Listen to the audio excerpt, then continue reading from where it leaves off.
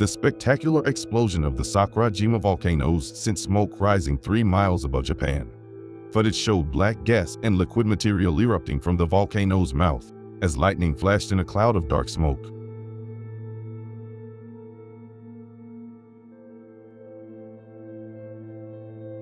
Japan Meteorological Agency officials have observed increased levels of volcanic activity at Sakurajima volcanoes in Kagoshima Prefecture. Explosive eruptive activity was observed in the Minamidake Peak crater at around 18.30 which produced an ash cloud rising to around 16,400 feet above the crater.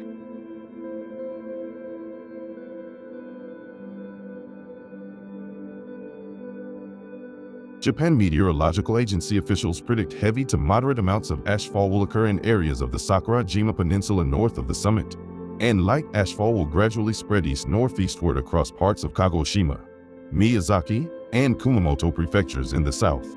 Large volcanic blocks and other debris can also be seen protruding about 3 to 80-4, 265 feet from the crater.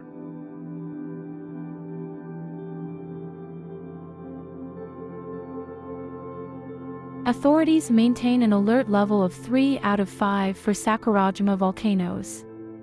Despite increased volcanic activity, authorities have not issued any evacuation orders in the surrounding area.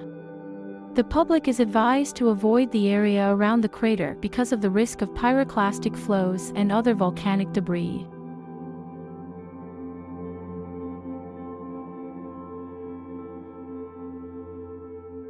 Further eruptions could cause low-level seismic activity, ash clouds, and landslides in the surrounding area.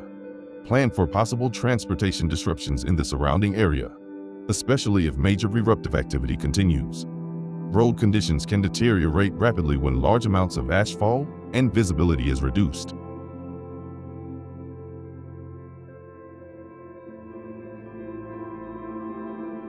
Officials may close roads near the volcanoes depending on the presence of hazardous volcanic material.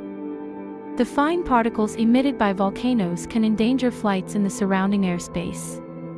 Authorities may temporarily close airport facilities if large amounts of ash accumulate.